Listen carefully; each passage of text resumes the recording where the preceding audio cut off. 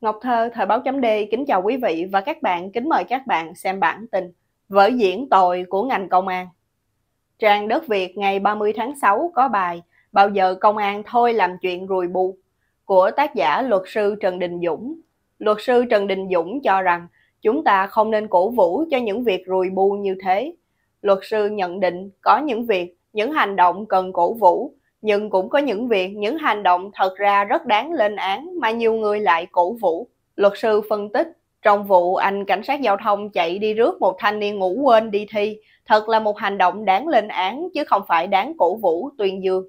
Hình ảnh bài trên trang đất Việt.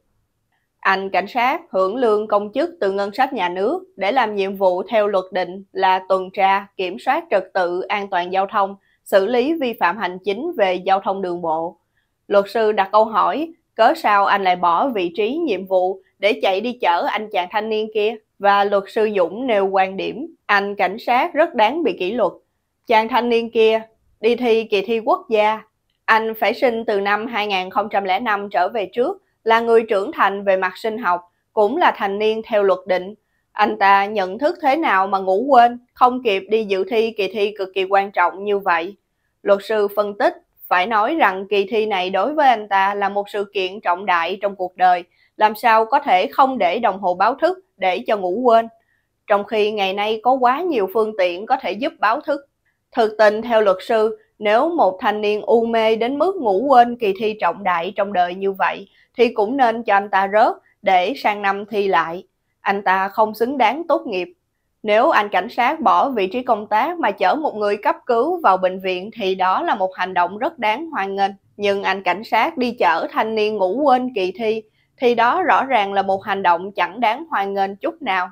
Có thể nói, đó là hành động mà trong dân gian hay nói là làm chuyện rùi bu, theo quan điểm của luật sư Trần Đình Dũng. Ở Việt Nam, cảnh sát giao thông đã nhiều lần diễn việc dẫn cụ già hay em bé qua đường, chở người, chở hàng giúp người bán hàng rong, giúp dân gặt lúa, sửa nhà, giúp thí sinh đến trường trong nhiều năm qua. Hình ảnh truyền thông đưa tin về màn trình diễn của anh cảnh sát giao thông. Tuy nhiên, có lẽ vì hình ảnh người công an nhân dân đã trở nên quá xấu xí qua các vụ đàn áp dân oan, đàn áp người bất đồng chính kiến, qua các vụ ăn bẩn hoặc vụ trộm dê mới đây, mà cũng có thể là vì vụ cư quyên khiến lãnh đạo ngành hiểu ra dân đã chán ghét công an như thế nào hoặc vì những lý do gì đó mà dân không rõ nên năm nay ngành công an muốn lấy lại hình ảnh người cảnh sát thân thiện vì dân cho nên mùa thi năm nay các chiến sĩ ngành đã diễn hơi quá lố khi mà có đến cả một loạt trường hợp ngủ quên được công an đem xe đặc chủng đến tận nhà đưa đi thi. Tuy chuyện xảy ra ở nhiều địa phương khác nhau, cách nhau mấy trăm cây số, nhưng kịch bản khá giống nhau.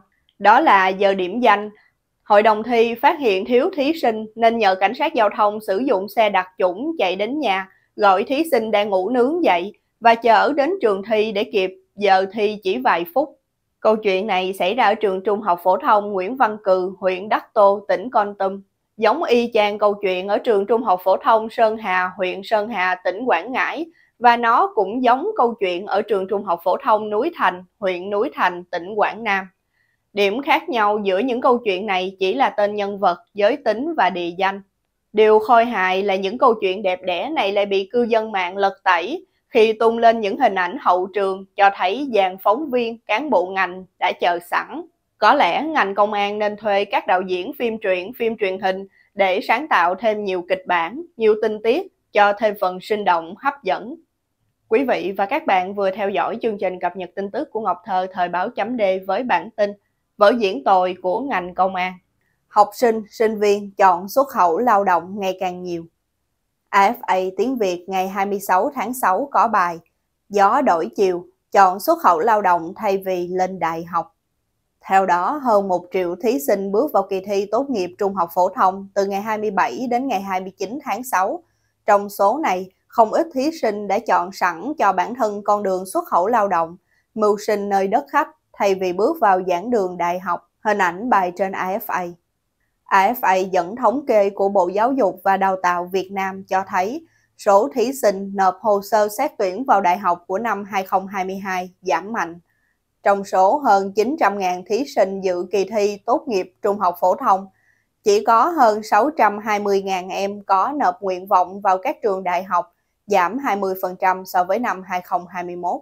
Với kỳ thi năm 2023, một số trường đại học ghi nhận con số học sinh đăng ký xét tuyển vào đại học bằng học bạ giảm kỷ lục, có nơi chỉ 35 tới 50% so với năm ngoái. AFA cho biết chi phí cơ bản cho 4 năm đại học của một sinh viên bao gồm học phí, tiền thuê nhà trọ, đi lại cùng với các khoản tiền lặt vặt khác, tính ra mỗi tháng cũng tầm 6 triệu đồng. Trong khi đó, sau khi tốt nghiệp, mức lương của sinh viên mới ra trường vào năm 2022 chỉ đạt tầm hơn 10 triệu đồng một tháng và không có gì đảm bảo cho một công việc ổn định.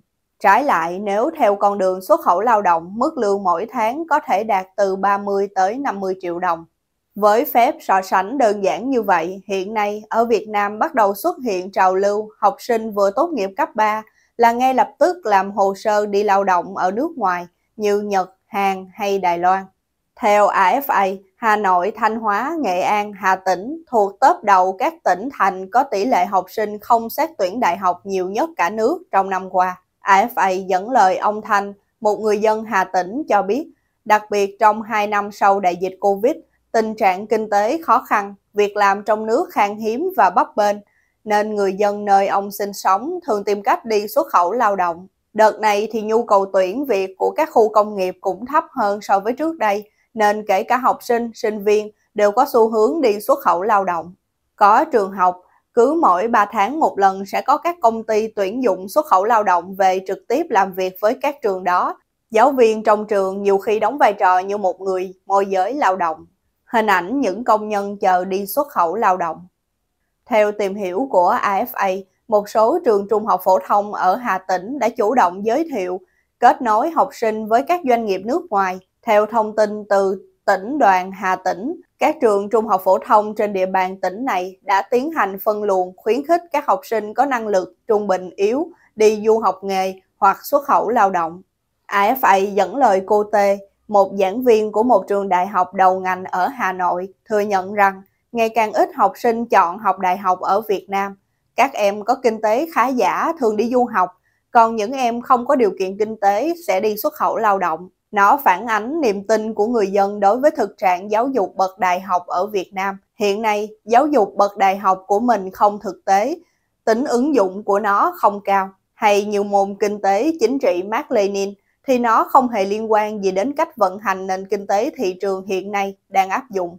Vì thế, sinh viên học một đằng mà thực tế cuộc sống là một kiểu rất khác nó khiến cho tư duy và kiến thức của sinh viên không thể đáp ứng được nhu cầu của thị trường, doanh nghiệp và xã hội. Đi xuất khẩu lao động là một trong những lựa chọn không có gì sai trái. Tuy nhiên, nếu ngày càng nhiều người sang nước ngoài làm việc theo đúng nghĩa bán sức lao động, thì lại là một thảm họa xã hội.